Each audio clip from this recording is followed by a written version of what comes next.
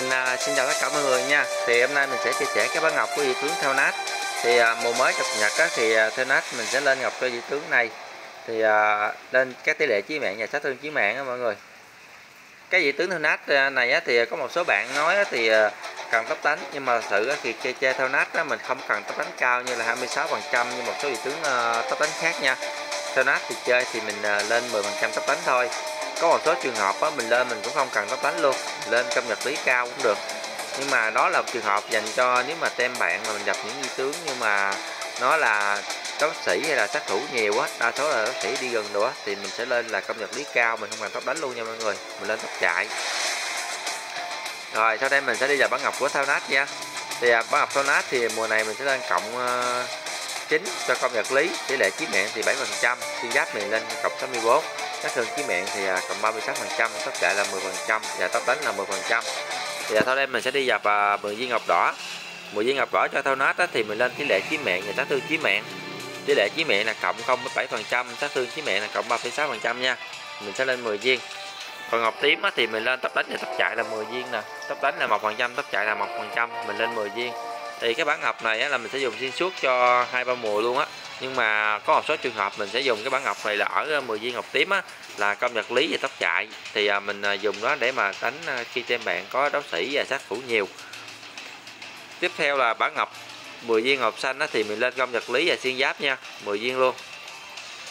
Thì khi lên xong ngọc thì nó có bằng thiện là công vật lý tỷ lệ chí mạng xuyên giáp sát thương chí mạng tốc chạy tốc đánh nha rồi sau đây mình sẽ đi vào cái phần trang bị và phù hiệu nha mọi người. Thì à, trang bị có theo nát á, thì à, nó cũng như một số vị tướng khác rồi. Mình sẽ đi vào món đầu tiên là chí giày dung mục. Món thứ hai thì mình lên đánh kiếm. Và món thứ ba mình sẽ lên săn ba bảo táp. Săn ba bảo táp này thì mình ghi thường rất là dùng tùy theo một số trường hợp. Nếu mà gặp tem bạn như là có những vị tướng sát thương vật lý nhiều á thì mình à, đổi thành cái vuốt không tàn nha. Và món thứ thứ uh, thứ tư thứ tư mình lên cái à, uh, cung tà ma cái cung tà ma này mình lên bình thường nha. Và món thứ năm lên kiếm mua xa cuối cùng là cái giáp phong mệnh nha. Thì à, chỗ này mình sẽ đổi.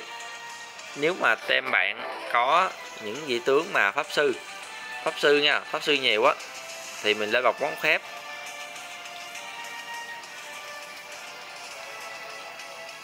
đợi mình tí nha tay nhà pháp phép cái gương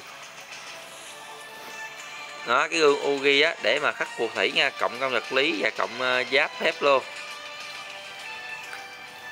Còn giáp phong mệnh khi mất đi á thì uh, mình có thể tùy theo tem mà mình lên. Một á là mình sẽ lên uh, cây kiều huma hugoa nha. Còn hai thì mình lên cây uh, cây nanh phoenix luôn. Đây nào nè nanh phoenix luôn còn về cái phần phù hiệu á thì mình sẽ chọn cái phù hiệu sát thương chí mạng nha mọi người. Cái ma chú á đây nè.